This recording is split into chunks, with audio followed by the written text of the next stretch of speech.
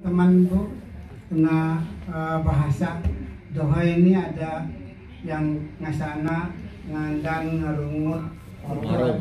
Eh, parung itu adalah salah satu bahasa daerah eh, bahasa Bahasa. untuk menyampaikan sesuatu ataupun cerita Pesan. gambaran ataupun menceritakan sesaat yang apa yang dikata, eh, dilihat dirasa dijumpai di, di tempat itu ataupun kemarin-kemarin.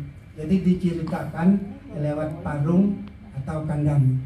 Mm-mm. saya memang tidak pernah ngandan eh, marung. Cuma oleh permintaan teman-teman ini menyampaikan lewat parung. Harus bisa jadi sebelumnya saya mohon maaf. Eh, akan aku coba ah. ya coba coba. Hmm, aman huang menyawer tekan penyawer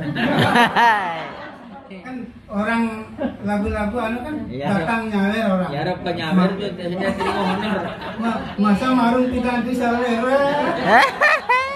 lanjut ya ada para ada para Ah, ada para mungkin saya aku coba nampara lah ada para ya.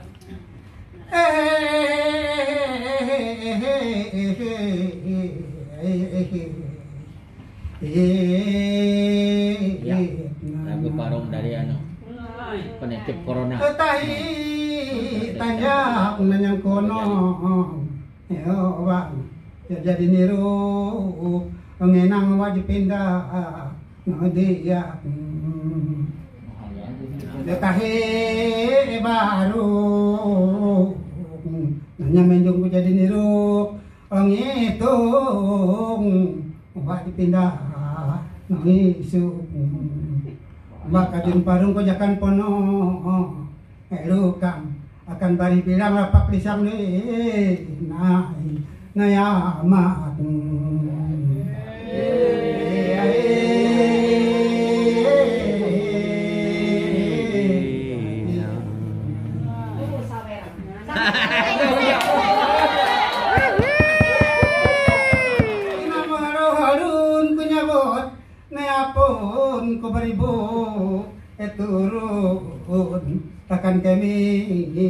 Niulun Manay po balay bahasa jadi marupun Kita ulun akan kita hupon Ehumba Kalau istik kasa aja burung Edara Ah, ibu kepala balai na malam jadi marupun tiket ulun kalau marupun kai depan epohun akan tuhun hembak ngan pandar cerita Udah termasuk ke Kanya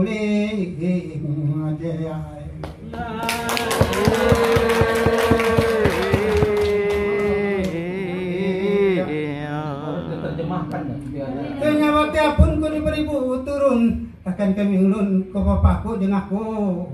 Eh ngapun Kalau ulun ditambok tahun nyukaran kami ulun Ngamin de balaku. Ekora Ning tolong dito sakaya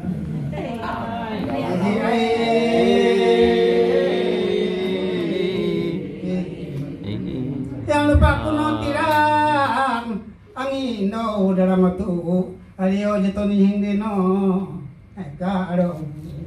Dulu monot masting ko di kaju heling kumo pas pare paring dalam tu alio jatuh ni hindi karo buho macu hulu matanda ero bu kando macu buho hulu matanda ero po Bele kain kena to dengar kalau kelunan ketok je bawa bombo itu beti. Itu. Bele kain ketok to no esa aku. Wili mande poro sebut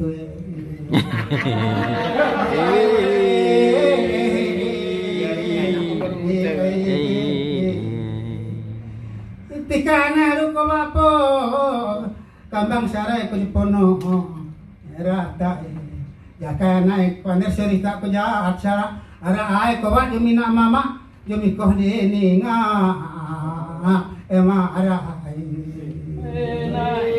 terima kasih selamat Artinya.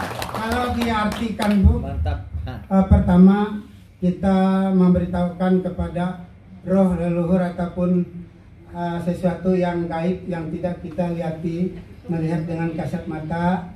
Mohon izin kami ini eh, rame-rame di sini. Jangan kalian ganggu kami. Jangan heran.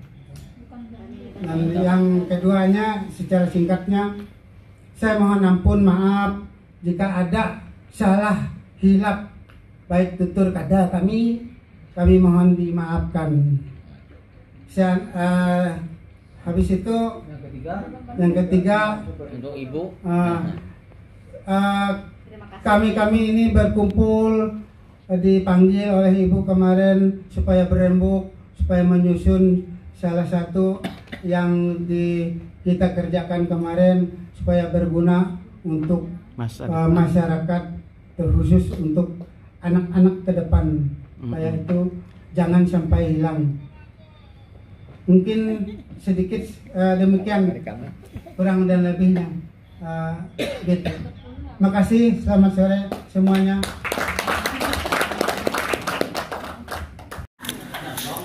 Kembali lagi kegiatan pra penerbitan. Ini hari terakhir untuk penerbitan bahasa dan Indonesia. Ini, ini kelompok satu terdiri dari Pak Penyang dan kawan-kawan.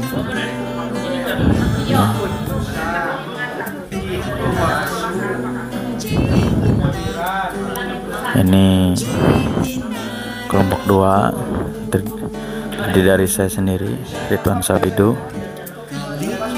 Ini untuk bahasa siang. Ada Juki ada Mama dan ini kelompok tiga. Udanom ya. Ini kelompok empat. Udanum ini kelompok lima.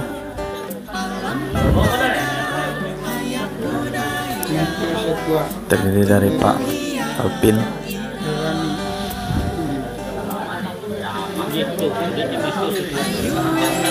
ini ibu-ibu dan bapak-bapak yang ada di, dari balai bahasa.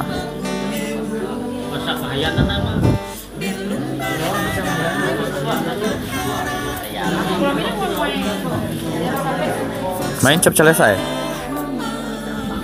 Maro. Stop. Lanjut. Manahuni Manahuni 961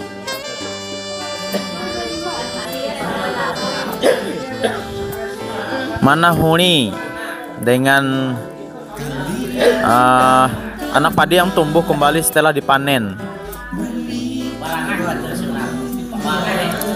bahasa siang eh. Indonesia-nya padi ini sudah mulai menahuni. Pas lana juk juk. Menahuni 961. Langsung nanu bahasa siang ada berarti nalah. Paroe cotu. Ocop melai menahuni. Paroe cotu. Ocop mulai mulai menahuni.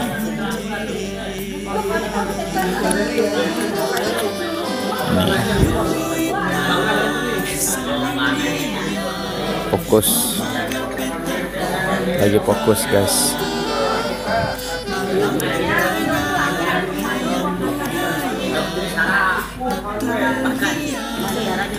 Kita mau pulang. Video nih. Mau makan, makan siang. Iya.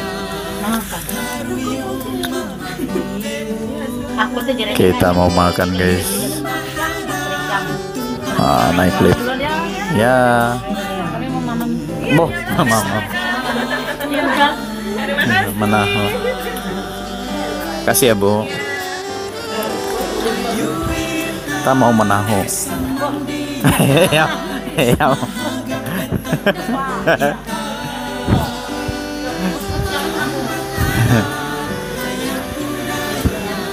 ah,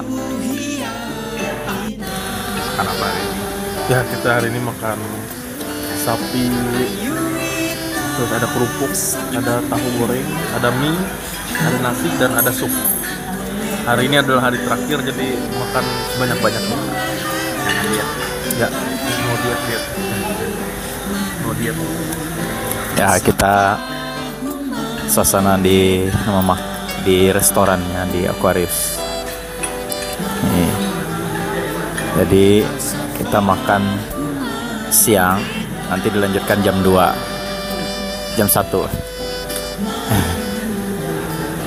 Lanjut nanti langsung habis selesai materi. Hmm. Nah, ini semuanya.